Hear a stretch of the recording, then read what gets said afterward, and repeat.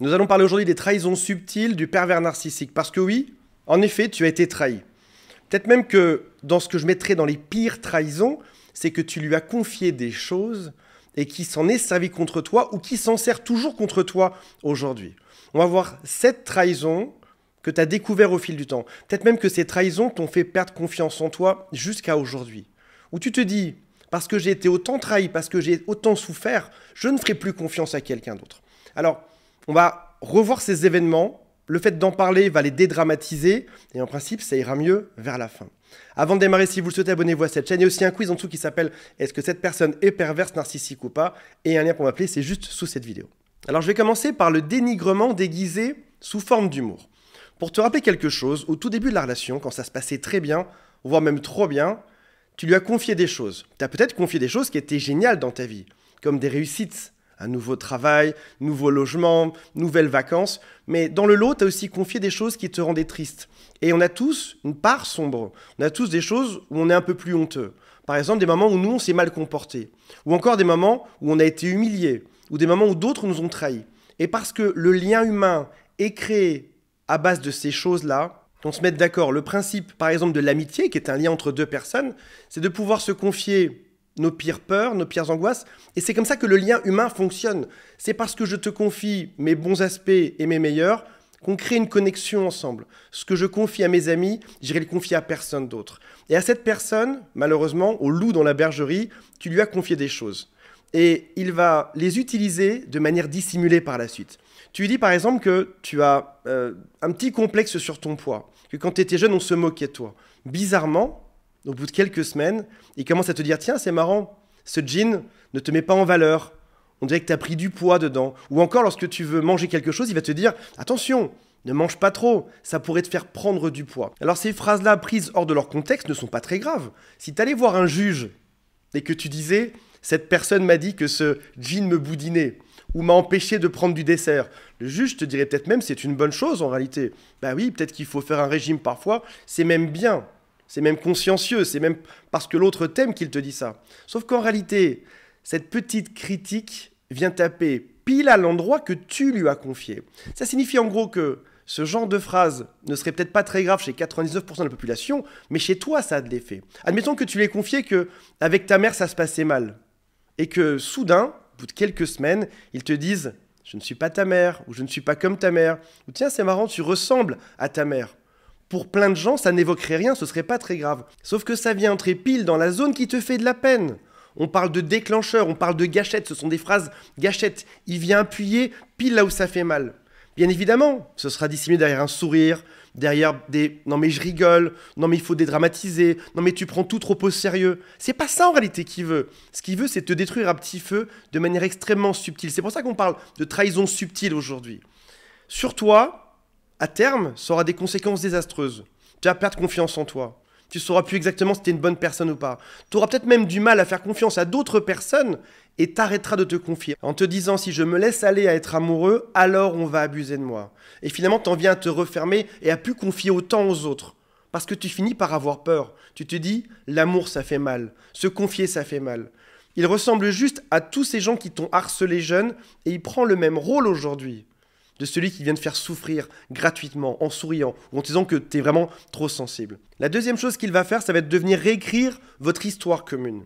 Qu'on se mette d'accord. Si jamais toi et moi on parlait pendant 5 heures, il y a de fortes chances que si tu regardes bien les phrases, chacune d'entre elles dans le détail, il est possible que je puisse dire tout et son contraire. Par exemple, si on est dans un bar ensemble, je peux dire euh, j'aime pas trop cet endroit, et puis une heure après, je peux te dire cet endroit est chouette finalement.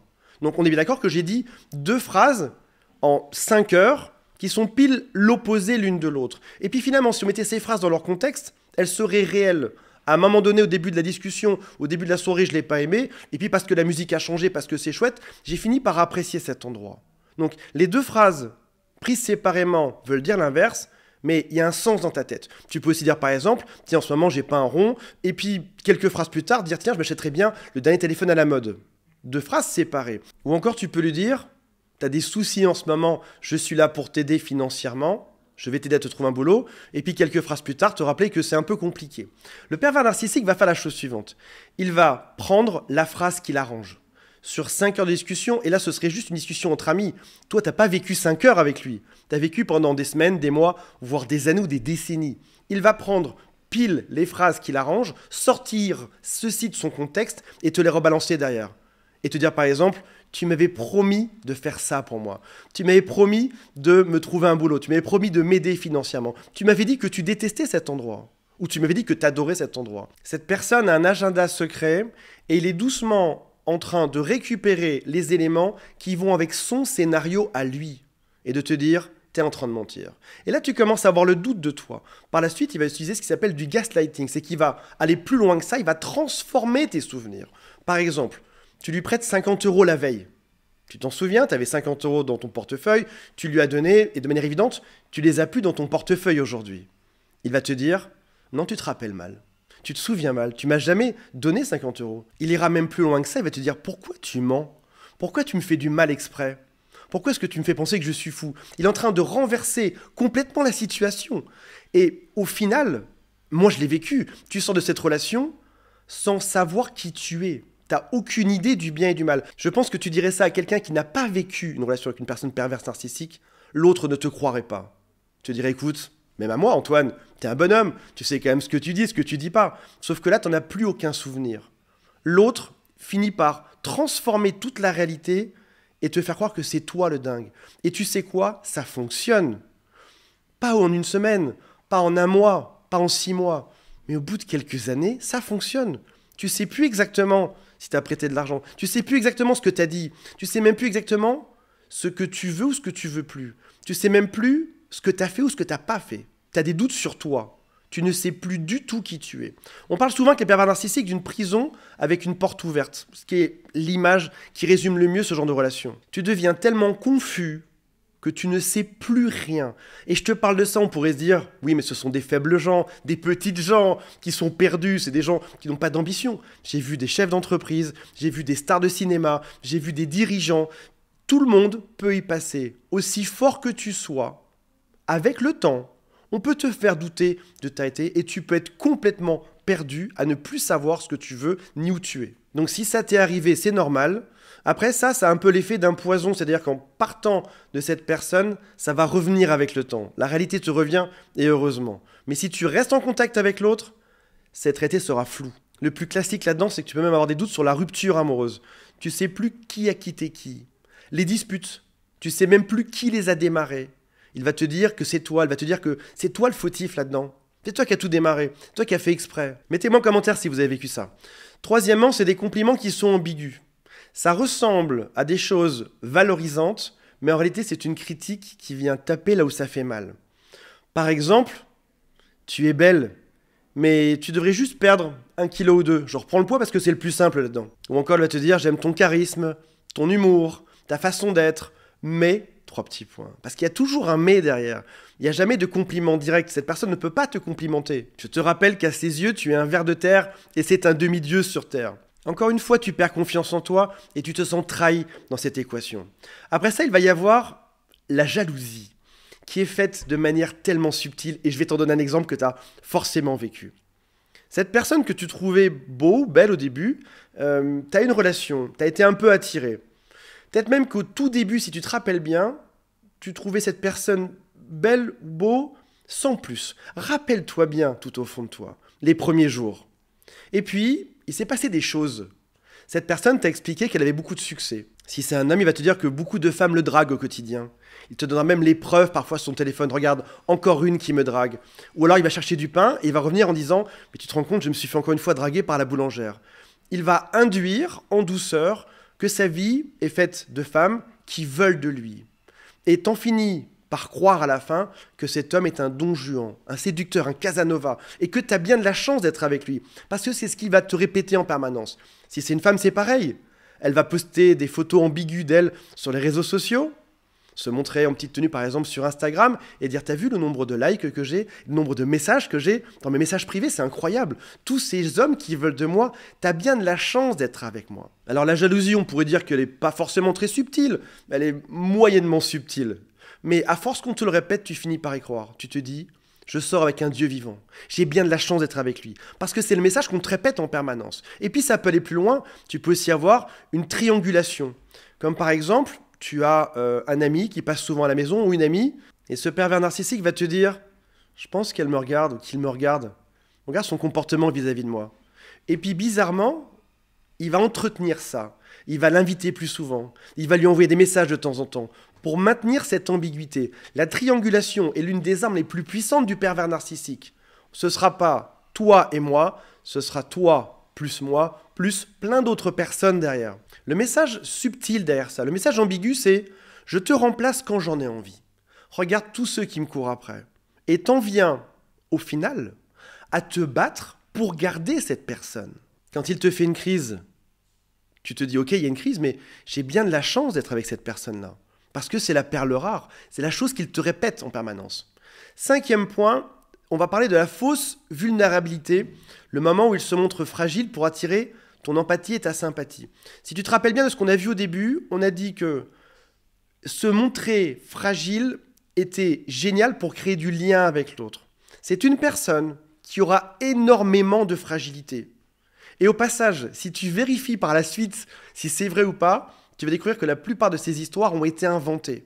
Un peu comme un acteur, il a répété ses phrases devant le miroir ou en société pour voir lesquelles pouvaient fonctionner. Il peut inventer une maladie, il peut inventer une enfance misérable, il peut inventer que son ex était la pire des personnes, lui taper dessus. Quand tu vas vérifier derrière, tu découvres qu'en fait c'est pile l'inverse. C'était un enfant qui était ingrat. Ses parents ont tout fait pour lui. Ses ex ont été gentils, c'est lui qui a été violent dessus. Il va donc utiliser ceci pour te manipuler et pour te montrer que dans le temps les autres étaient méchants vis-à-vis de lui et toi tu es juste en train de reproduire un cycle de méchanceté. Il te fait penser que c'est toi l'agresseur dans cette histoire, alors qu'en réalité c'est lui depuis le début.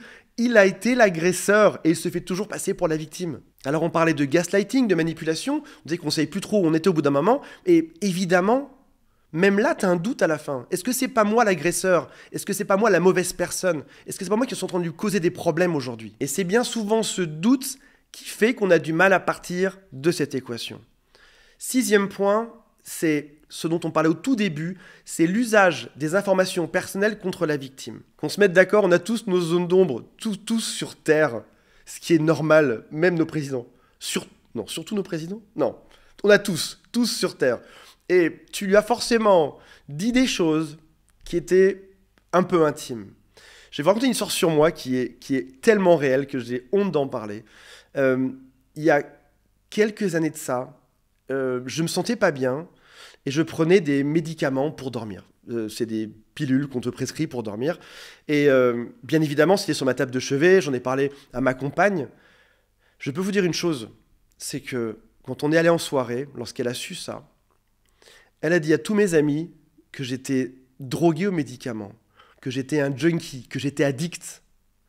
Et tu sais quoi? Mes amis, je dirais pas qu'ils l'ont cru, mais en tout cas, mes amis sont rentrés dedans en se disant ouais c'est possible. La preuve que c'était possible, j'en prenais, j'en prenais réellement un par soir pour arriver à dormir pendant quelques mois, j'en prenais.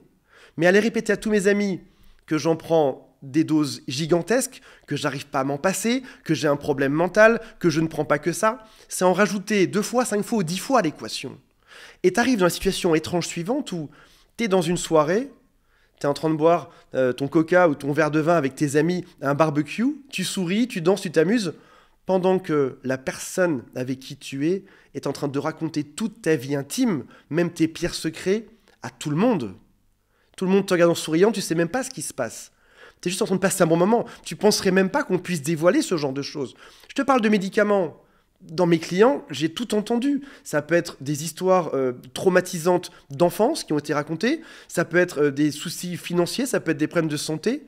Oui, cette personne utilise tout ce qu'elle sait sur toi pour recréer une nouvelle version de toi, un nouvel avatar. Et la puissance de ça, c'est que c'est crédible. Tu prends deux, trois éléments et tu viens modifier l'histoire. Par exemple, tu as, découvert de 1000 euros pendant un mois. Cette personne va te décrire comme étant une personne qui n'arrive pas à gérer ses finances, qui est fichée en Banque de France. On prend des éléments et elle va les amplifier x2, x3, x10 pour recréer une nouvelle image de toi qui serait crédible. Et c'est tellement facile de recréer une histoire à partir de petites bribes. Et tout le monde croira cette personne. Parce que cette personne qui est perverse narcissique se fait passer pour une victime et raconte quelque chose qui est crédible. En fait, c'est même ça le fond d'histoire, c'est que c'est pas créer n'importe quoi, c'est pas comme dire que demain tu iras sur Mars, personne ne croirait ça. Mais c'est utiliser des petites parties de ton histoire pour réécrire quelque chose de totalement différent. Et surtout, ce sont des choses qui sont invérifiables. Et encore une fois, devant le juge, qu'est-ce que tu vas dire? À un barbecue, elle a raconté que j'étais à découvert de 500 euros. À un autre euh, événement, elle a raconté que j'étais dépressif. À un autre événement, elle a raconté que dans ma jeunesse, c'était compliqué. Tout le monde te dirait, ouais, c'est pas très grave. Sauf qu'en réalité, cette personne est en train de saper tout ton environnement amical, ta santé mentale, ta confiance en toi. Et c'est pour ça que ça devient si dur par la suite de refaire confiance à d'autres. Tu te dis, je me suis livré et j'ai mis mon pire ennemi sous ma couette. J'ai mis la pire personne sur Terre dans ma vie au plus proche de moi. Et bien sûr que c'est traumatisant, bien sûr que c'est super dur. Et je sais par quoi t'es passé, c'est pas de ta faute. Et maintenant, tu bloques tout.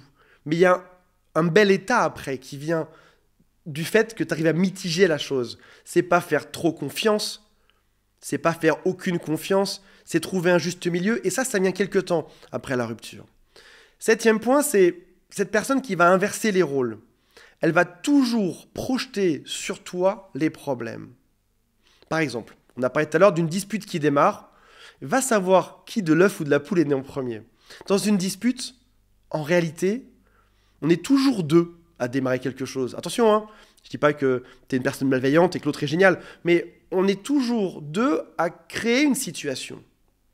Et oui, si on remonte suffisamment loin, on pourrait trouver le moment où tu as peut-être perdu un peu patience, où tu as eu un mot qui n'était pas exactement le bon avec la bonne intention.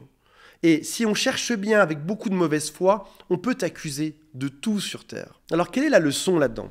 Je pourrais te dire à la fin de cette vidéo, t'es tombé sur un monstre, c'est pas de ta faute et ça se passera bien après. Et au passage, je pense que c'est à peu près ce qui s'est passé. Il y a autre chose que j'ai appris pour ma part, et je me confie un peu aujourd'hui, on est en fin de vidéo. Mettez-moi éléphant vert si vous êtes arrivé jusqu'à ce moment de la vidéo. Je pourrais dire, oui, j'ai été victime, oui, j'ai souffert, et c'était de la violence gratuite.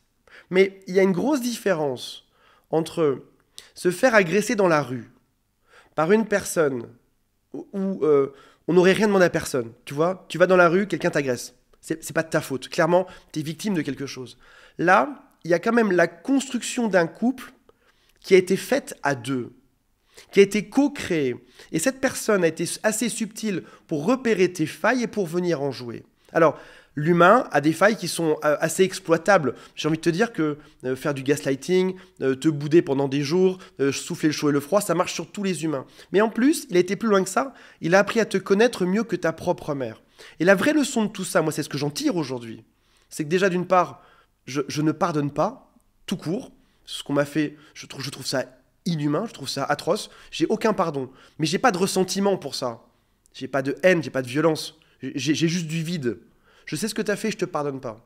Cette personne a voulu revenir dans ma vie plusieurs fois. Je ne pardonne, je ne pardonne pas ce qu'on m'a fait. Ce sera impossible. Mais sans haine, c'est juste dégage de ma vie. Mais il y a aussi d'autres choses que j'ai apprises sur moi.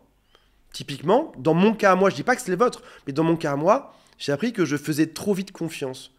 Je vérifie rien. Si une personne me plaît, si j'ai des émotions, je me laisse embarquer là-dedans. Je cherche même pas à, à prendre le temps de connaître l'autre. Et aujourd'hui, je peux vous dire quelque chose, c'est que je ne ferme pas mon cœur, c'est juste que je mets plus de temps à l'ouvrir. Comme un coffre-fort. Admettons que quelqu'un arrive devant un coffre-fort, le coffre s'ouvre direct. Quelle serait réellement la valeur de ce qu'il y a dedans? J'ai envie de te dire que tout serait pillé en permanence et qu'à la fin, en effet, le banquier aurait tendance à le verrouiller en disant ce coffre-fort-là, il marche pas. L'idée, c'est de l'ouvrir que quand il y a les bons clients, tu vois, quand il y a l'intention de déposer quelque chose ou d'être respectable avec la banque. Et pour ton cœur, c'est pareil. C'est pas ne fais plus entrer personne dedans, c'est juste, sache que sur Terre, il existe des gens qui sont bien, il existe aussi des gens qui sont moins bien. Comment est-ce qu'on sait, comment est-ce qu'on fait la différence? On la fait dans le temps, en observant l'autre. Et je peux te dire une chose, si tu prends ton temps, toutes les personnes qui sont perverses narcissiques, manipulatrices, mal intentionnées, elles dégagent parce que tu deviens une proie trop compliquée pour elles. Et puis, tu fais pas confiance qu'à une seule personne, je ne dis pas qu'il faut devenir agent du FBI, aller vérifier sur les réseaux sociaux tout ce qui se passe, mais tu peux tout à fait euh, voir sa famille, voir ses amis. Ça semble ringard. Cette année, on se dit, ouais, mais on n'est plus là-dedans aujourd'hui. On se rencontre sur les applications de rencontre et ça va vite. Non, non, tu peux prendre ton temps, rencontrer toute l'équation en entier. Alors tu me diras, oui, mais Antoine, ils sont forts pour ça aussi, pour te faire rencontrer que les bonnes personnes, etc. Je te promets une chose. Si t'attendais ne serait-ce que, euh, je dirais même pas un an, je dirais un mois de plus avant d'ouvrir ton cœur, ou deux. Je dis pas qu'il faut ne rien donner puis tout donner. Je dis de t'ouvrir progressivement dans le temps et d'observer le comportement de l'autre. Il y a un Allemand qui était sociologue qui disait il faut 17 ans pour connaître quelqu'un. Je te demande pas d'attendre 17 ans, mais attends en effet quelques mois, voire 6 mois, un an, avant de te dire je pense réellement, vu tout ce qui s'est passé, que je peux lui faire confiance à partir de là, je peux commencer à m'ouvrir un petit peu plus. Ça m'a aussi appris autre chose, c'était à mettre des limites dans ma vie. Savoir dire stop, savoir dire non. Savoir qu'on m'aimera plus si je sais dire non. Je pensais qu'on m'aimerait plus si je disais tout le temps oui. Aujourd'hui, je suis persuadé qu'on m'aime plus parce que je sais dire non. On sait enfin voir mon propre visage. J'étais quelqu'un qui était quasiment transparent. Un caméléon, j'ai un métier qui veut ça au passage. Hein. Moi, je suis là pour aider les gens et faire que tout se passe bien. Mais en couple, c'est exactement pareil. Je suis là pour que tout se passe bien, mais jusqu'à m'oublier en réalité, puis savoir exactement qui je suis. La culpabilité vient de cette trahison. Au final, quand on parle de pervers narcissique, je veux dire quelque chose qui est assez étonnant qu'on ne dira sur aucune autre chaîne. C'est pas tellement à l'autre qu'on en veut. Ce serait tellement simple. Il y a quelqu'un à qui on en veut encore plus et à qui c'est encore plus difficile de pardonner, c'est à soi-même. Pourquoi est-ce que j'ai pas vu ça avant? Pourquoi je me suis pas défendu? Pourquoi j'ai pas dit stop? Qu'est-ce qui s'est passé dans ma tête? Pourquoi j'ai été amoureux aveuglément? Pourquoi est-ce que tous les red flags, je les ai pas vus? C'est à soi qu'on en veut. Et ce que je te dis aujourd'hui, c'est pas de simplement attendre un délai de 30 jours, 6 mois ou 17 ans avant de tout ouvrir. C'est de se dire que parfois, c'est je t'aime, oui mais non merci. écoute, je t'aime, je passe des bons moments avec toi, mais là, ça va pas trop dans mon sens quand ça se passe comme ça. Apprendre parfois à faire un pas en arrière. Apprendre à avoir une forme de discernement. Je t'aime, mais ça fait mal. Donc je pense que je vais pas rester là-dedans. Ou on se verra un petit peu moins. Ou on n'emmènera pas aussi vite que ça ensemble. Ou je te donnerai pas tout mon argent. Ou je vais pas te confier tous mes secrets. Tu vois, c'est peut-être même parfois confier juste euh, le début de certaines choses, sans confier ça en profondeur jusqu'à ce que tu aies la preuve que cette personne se batte pour toi et soit dans ton camp. Je vais vous dire un autre secret qu'on vous dira jamais sur d'autres chaînes, c'est qu'il y a un... Quand on passe par une relation avec une personne qui est perverse narcissique, on a l'impression qu'on va, qu'on va crever. Je... tu dois savoir de quoi je parle. L'impression qu'on va y passer. Et on se dit, une fois que j'ai vécu ça, euh, je vais mettre des années à m'en remettre, ou des siècles, et c'est pas le cas. En réalité, au bout de six mois, un an, deux ans, trois ans, le machin passe. Alors oui, t'en gardes un peu des mauvais souvenirs, mais le machin passe. Et il y a une, une autre relation juste après qui n'est pas non plus la bonne. Tu vas vivre une relation avec ton personne qui est perverse narcissique. Comme tu n'as absolument plus idée du bien et du mal, tu vas tomber sur quelqu'un qui ne sera pas pervers narcissique après, mais qui va gentiment abuser de toi. Qu'on se mette d'accord, tu n'as plus les référentiels. Tu sais plus ce qui se fait, ce qui se dit, tu sais même plus la gentillesse. Tu as, as, vraiment tout oublié. En fait, tu es allé dans de telles amplitudes que, tu as quasiment oublié qu'une relation classique normale, ça a des toutes petites amplitudes, même jusque dans les mots choisis. L'autre t'a entraîné dans, tellement d'horreur et de violence que tu n'arrives même pas à te recalibrer juste après. Et donc de manière tout à fait évidente, tu vas tomber sur quelqu'un juste après qui sera juste vaguement toxique. Ça va durer quelques mois, voire... Mettez-moi en commentaire si j'ai raison. Quelques mois, quelques semaines, quelques mois, voire un an, un an ou deux. Et, et tu vas finir par en partir. Et à ce moment-là, tu seras réellement guéri et tu n'auras que des relations qui seront super chouettes, mais après. C'est-à-dire qu'il faut passer par pervers narcissique, relation vaguement toxique, puis rencontrer quelqu'un de bien. Et ça va aussi passer par remettre en place son paradigme du couple. C'est peut-être quelque chose qui était évident pour toi. La plupart des gens qui sont tombés avec des pervers narcissiques euh, avaient un mauvais paradigme. C'est typiquement, je vais me comporter avec cette personne comme papa et maman étaient ensemble, ou à l'inverse mais tu étais vachement bloqué dans une forme d'équation qui était assez rigide. Je dois, parce que je suis un homme, je dois supporter ça. Parce que je suis une femme, je dois supporter ça. Je dois tolérer ce genre d'agissement. Je veux dire quelque chose, hein, le bonheur de la relation perverse narcissique, t'en sors, tu dois plus rien à personne. Hein. Tu fais non, non, on va faire ça, on va faire c'est bon, ça m'a guéri. Un, peu comme un vaccin qui finalement t'injecterait une dose de mauvais pour te rendre bon par la suite. Et oui, ça arrive, mes amis, on en reparlera dans une prochaine vidéo. Voilà, j'espère que ça vous a intéressé, on se retrouve prochainement. Salut à tous, bye.